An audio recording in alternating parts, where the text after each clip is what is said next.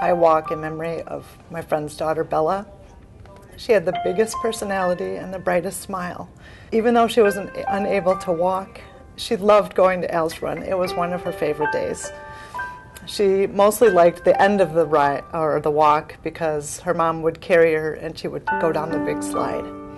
It's a wonderful day to walk with friends and family to honor Bella and all the children.